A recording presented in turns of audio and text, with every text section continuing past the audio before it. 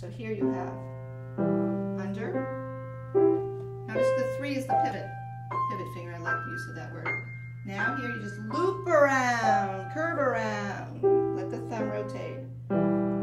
Left hand, four two in the middle, loop around. Be there where you want to be. Right, coming down. Let go of the upper finger. Let the four be the pivot. Right and forward. Rest together. They're doing opposite motions. One is looping, one is lateral. You notice that? Yeah. So there's different choreography in each hand. Over and over and forward. Eventually it should all sink in, right? Notice how I'm moving.